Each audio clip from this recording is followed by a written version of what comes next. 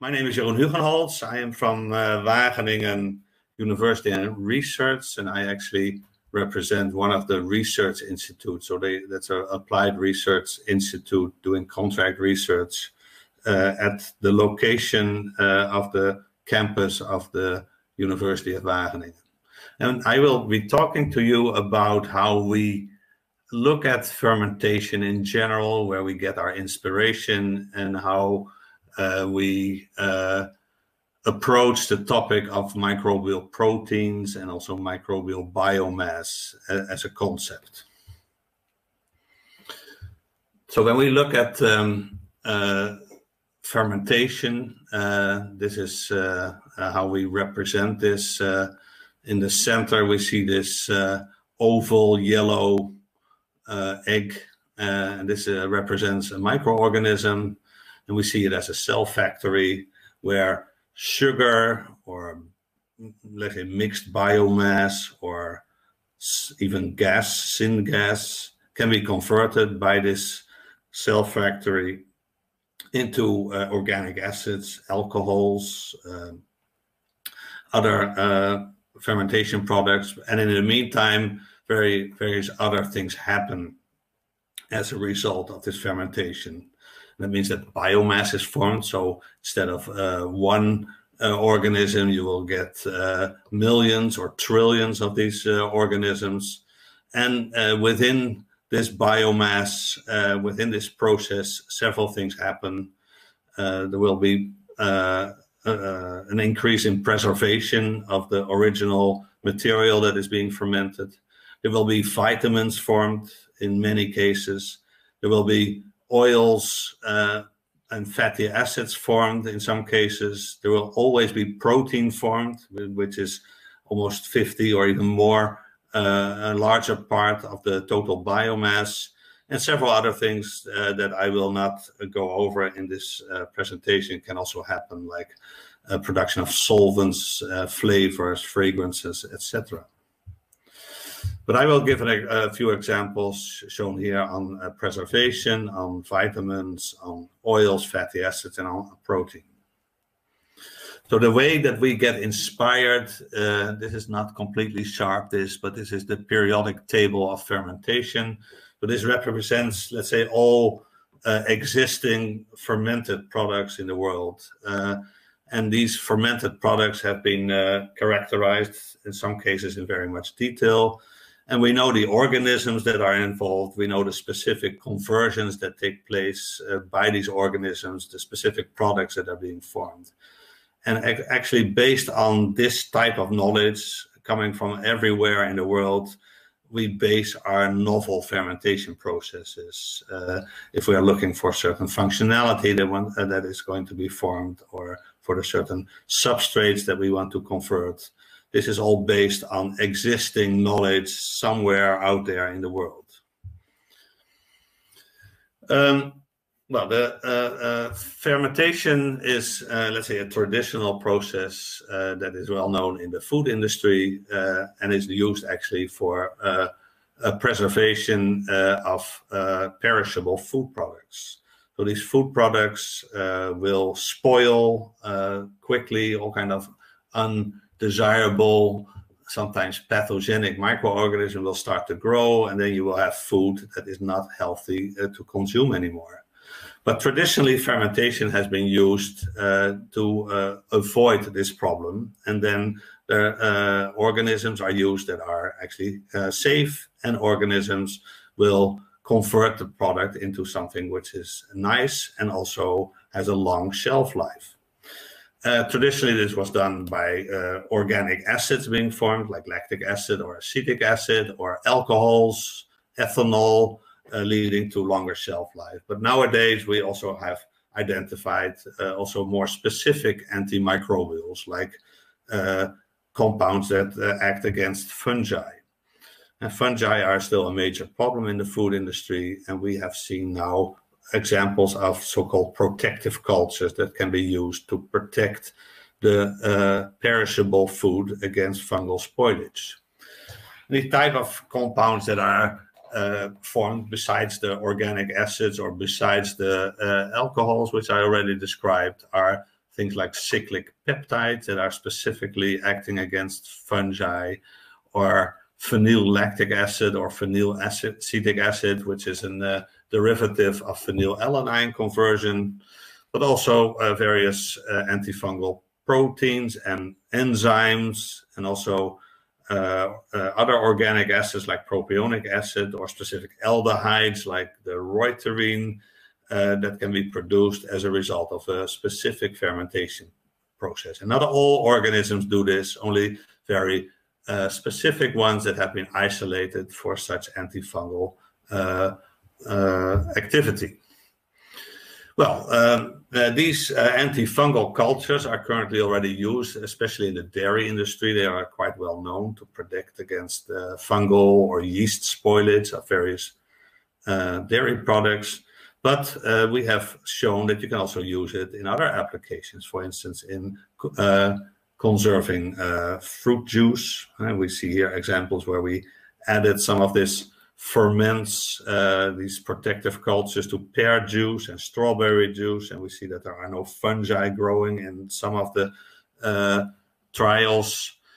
And we uh, you can actually also use that uh, to uh, protect fresh fruit like strawberries against fungal spoilage. And we see here examples where we have tested different of these uh, cultures. And then in the middle, there are a few that worked very well against the fungi that were flying around, in this case, in our laboratory uh, situation.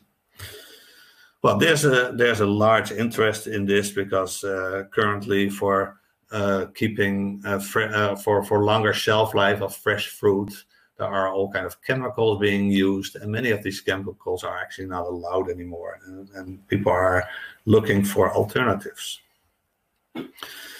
Well, um, since this is not about preservation, uh, this workshop, but about microbial proteins and biomass, one of the things that is associated also with biomass uh, of my, microbes is uh, is B vitamins. Many of the B vitamins uh, are accumulated in this biomass and can be an, a valuable source also in fermented foods. Uh, and we know of uh, different uh, food grade microorganisms that are used, uh, for instance, in the dairy industry again, uh, as Lactococcus lactis and Streptococcus thermophilus, that they produce folate, and some of them also produce riboflavin. We know of propionibacteria and Lactobacillus reuteri that they produce vitamin B12, and also of some of these bacteria produce vitamin K. And actually, you see some of them appearing uh, uh, at uh, every vitamin that I mentioned here. So we can actually get multivitamin enrichment using specific selected microorganisms. And this is also uh, can be applied, for instance, for enriching a product like yogurts by fermentation, by the addition of Lactobacillus reuteri you can get uh, an enrichment in vitamin B12. And this is very relevant, of course, because uh, these micrograms are actually the, your actual daily requirement for this vitamin. Even more interesting if, if you look at a, at a fruit juice or a, a vegetable or plant-based product, uh, which is uh, where vitamin B12 is naturally absent. And if you use this process of you of this uh, adding this microorganism, you will get an enrichment in, with vitamin B12. And this can be very relevant for, uh, for instance, vegetarian and vegan population. Um, another um, topic uh, also related to microbial biomass is production of oils. Um, we know of uh, various uh, yeast, especially, but also microalgae, that they produce naturally oils. Uh, they accumulate that uh, inside uh, their uh, cytoplasm. and you see that actually already appearing when you plate these on agar plates, these organisms, you get very oily colonies. Well, these oils uh, are actually very similar in composition as, uh, for instance, palm oil or sunflower oil. And we see this as a possibility to uh, produce under using fermentation alternatives to, to palm oil ingredients. Well, the organisms, uh, uh, this is one of the best producing uh, oil producing microorganism. It's a yeast called Cryptococcus curvatus. And when you look under the microscope and you zoom in, you see these oil droplets uh, lighting up inside uh, these yeast cells. And you can isolate, you can grow them and you can isolate it and you get something that looks uh, very much like a vegetable oil. Um, so uh, to uh, make this into uh an, uh, let's say, a sustainable and also uh, affordable process, we see that um, we need to develop processes based on cheap substrates, which are waste or side streams from the agri-food industry. Some of those side streams have very little cost on the market, and if you use them as a substrate uh, for your uh, yeast fermentation, you can get uh, an affordable process and you can get actually a cost price, which is very similar to current cost price of vegetable oils. Well, the different platforms that we work on is this Cryptococcus and Yarrowia. Those are both uh, oil accumulating yeast. We have microalgae that also accumulate uh, oils, but with a very specific composition. Uh, they are more polyunsaturated fatty acids uh, as a, uh, a, valuable substrate in, for instance, baby food. But we also see very similar processes happening, and this is not for food application, but production of polymers based on hydroxy fatty acids uh, called PHA. This is a plastic uh, uh, type of component which is uh, produced by various different bacteria. And uh, the work that we're concentrating on currently is to uh, make this an affordable process on uh, various uh, side streams, but also to see if we can actually change the composition at will so that we can uh, modify the chain length of the fatty acids or the saturation level of the fatty acids. The application of these oils is, of course, as in um, uh, as an uh, alternative to vegetable oils, uh, for instance, in mayonnaise, but also the fatty acids that are isolated from the oils can have specific antifungal protection, so it's a good preservative. I already mentioned that this, these hydroxy fatty acids, uh, the polymers uh, can be used as plastics, but we, you can also use them as surfactants or emulsifiers, or you can convert them into fatty alcohols with different uh, cosmetic applications. And I already mentioned the polyunsaturated fatty acids that are used in food and feed. Now, the uh, let's say the uh, final topic, and I spend a little bit more time on that, is the production of microbial protein. So that uh, we see fermentation as a good alternative source for production of protein. Uh, for instance, as uh, uh, to be applied in feed, but also to uh, be applied uh, as a meat or dairy alternative. And here we base ourselves on already known uh, examples uh, on the market, like Quorn, which is based on the fungus Fusarium venenatum. It's pure biomass from this uh, fungus, and this is already on the on the market for many many years. we know from the uh, Far East uh, uh, of products like natto, which is a fermented product based on Bacillus subtilis, and it consists actually mainly of Bacillus subtilis biomass.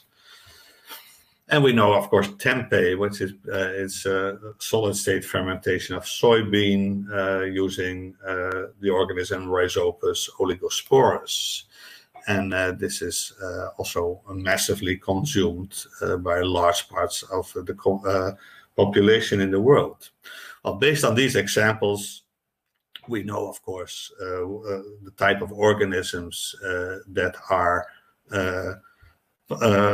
available and possible, and where you can actually produce functional and consumable protein and um, what we uh, set out to do at this point is to see uh, if there are even more possibilities there.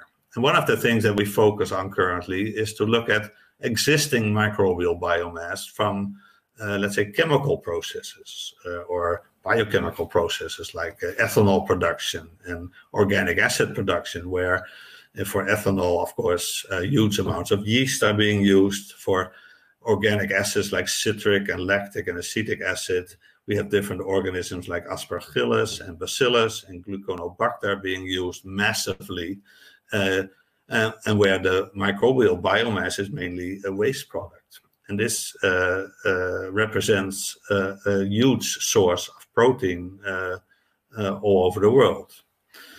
We also look at um, uh, let's say the examples that we already know from tempeh, for instance, where rhizopus is used for solid state fermentation. This process can be used for many other type of uh, uh, agri-food crops like lupine and chickpea and clover and various cereals.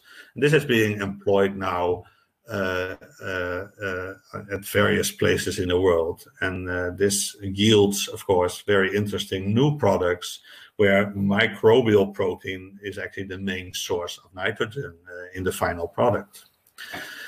And uh, what we do, of course, with these new products and also with this existing microbial biomass that we want to apply in food or feed is look at digestibility, look at amino acid composition, and compare that with the already existing sources of this protein. And also look at uh, different uh, uh, uh model systems to look at uh, animal response. Uh, for instance, the zebrafish response is something that we have at our facility where motility, but also the microbiota composition of the zebrafish and intestinal integrity is uh, a measure for how toxic or how uh, good the uh, protein source uh, can eventually be for uh, application in food or feed. Well, if you look at, for instance, this existing protein source that I mentioned for these organic acids, for bioethanol, for vitamin C, we're dealing here with massive amounts of uh, of uh, protein uh, that is available and that is now currently not used or underutilized as potential uh, protein source. You see that bioethanol, that an estimation, uh, it's my estimation, is that we are dealing here with 10 to the 10th or maybe even 10 to the 11th kilogram uh, production of this yeast protein per year. And also for citric acid, we get fungal protein 10 to the ninth kilograms, acetic acid 10 to the 10th kilogram of bacterial protein. This is all potentially very useful and interesting protein, which could be uh, used in the food and feed industry. Other sources of microbial biomass that we are thinking about uh, is uh, applying these organisms that are traditionally known uh, to produce relatively high amounts of uh, microbial biomass and thus also microbial protein, like Pichia pastoris, which is the classical single cell protein process uh, uh organism, uh, which uh, is also able to convert abundant substrates like methanol into microbial protein. Bacillus subtilis is very well known for uh, heterologous protein uh, production, but it is a very good uh, organism that shows very high uh, yields of biomass on various substrates. So this is potentially a very interesting uh, um, cell factory for natural proteins. And we see Yarrowia, which I mentioned before, uh, for as a good producer of oils. Well, one thing it also produces is protein, and actually combination of oil and protein together uh, can be a very interesting combination for finding alternatives for meat or uh, dairy uh, products, uh, but then based on microbial biomass. And also some bacteria like cyanobacteria uh, can be besides, it can be of course produce protein, but they are uh, besides that interesting uh, for uh, for co-production of things like vitamins, pigments, and flavors. So uh, one of the uh, interesting issues uh, uh, when you are producing microbial protein is that we're dealing here mostly with aerobic fermentation. So you need to do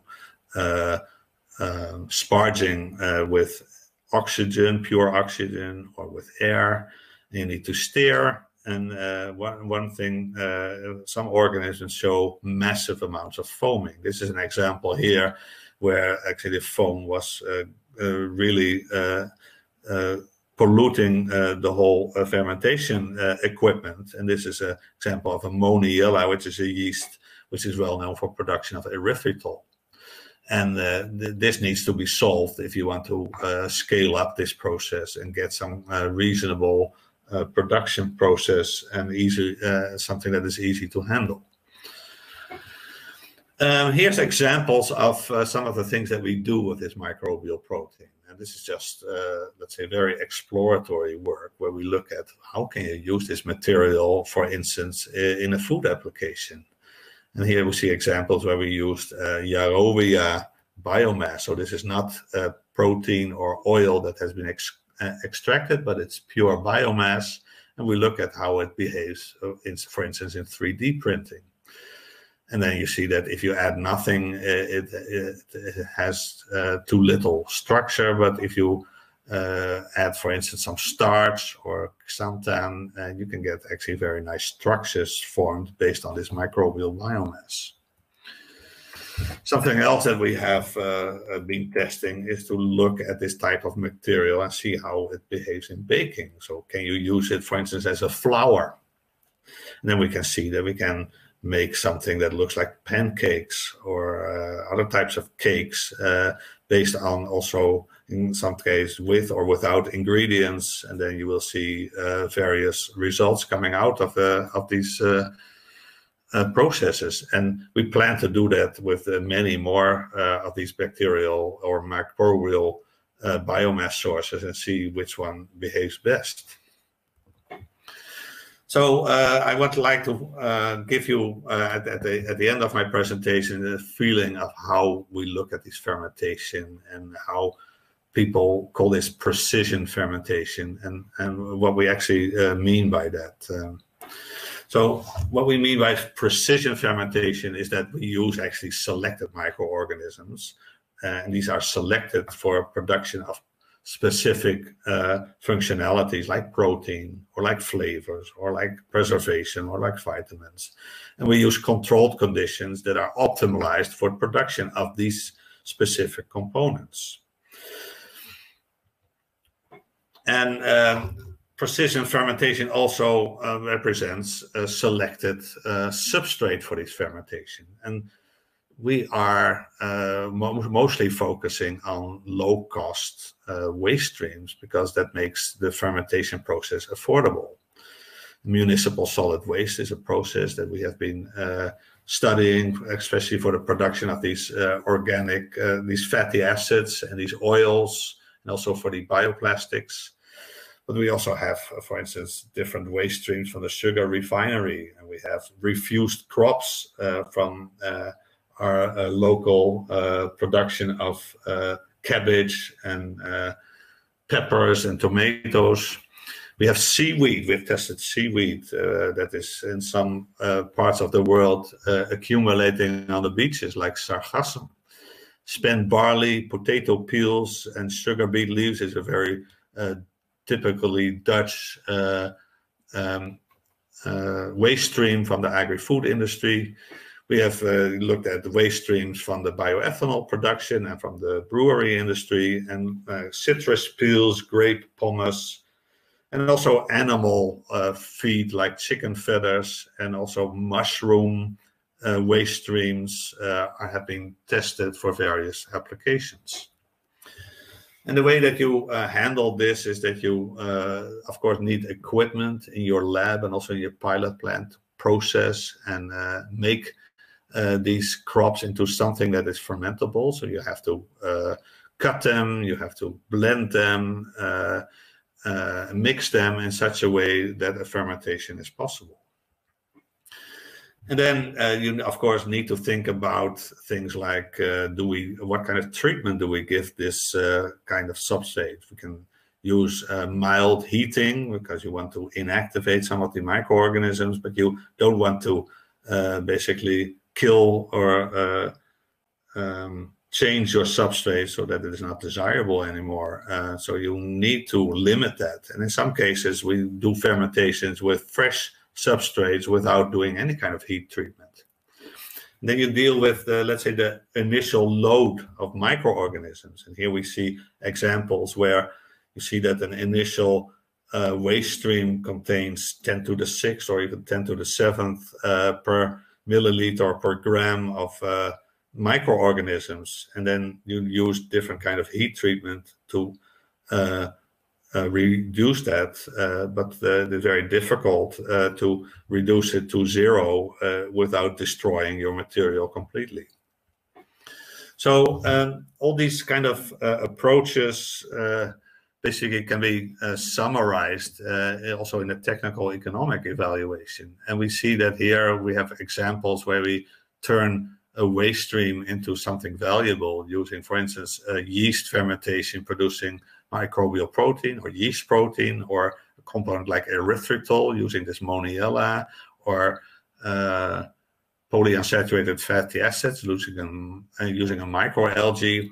And one of the things that uh, struck us in this kind of studies is that uh, if you concentrate on only one benefit or one compound coming out of this microbial biomass, like only protein or only oils, you will not get a good business case. But if you look at co-production, for instance, you take look at the erythritol being formed and the microbial protein from Moniliella, you can get a very interesting business case based on your fermentation process.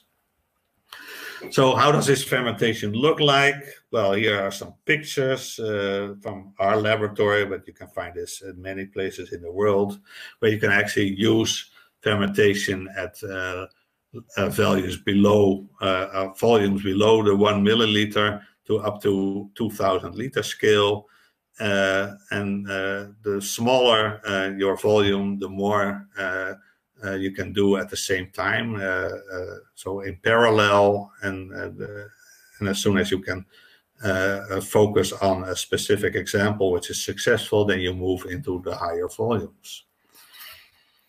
So in summary, uh, I would like to uh, uh, tell you that, of course, fermentation is that we know is traditionally used for protection against spoilage, but many of the attributes of fermentation are based on uh, existing fermentation processes around the world. We can be, and they can be used for vitamin enrichment, for to generate natural oils and fatty acids and plastics, and of course, microbial protein by various uh, types of microorganism. And precision fermentation involves selected microorganisms and controlled fermentation con conditions. And actually, uh, precision fermentation can be done to a low, uh, as low volume as 200 microliters up to 4,000 liter scales. And uh, efficient fermentation on waste side streams needs a, a, good selection of strains. So you need to test a lot of different conditions, but you can also uh, choose for cultures and adapt them to specific uh, types of waste streams. And then viable business cases for side stream biomass fermentations uh, usually require co-production of more than one product ingredient. And with that, I would like to thank you for your attention.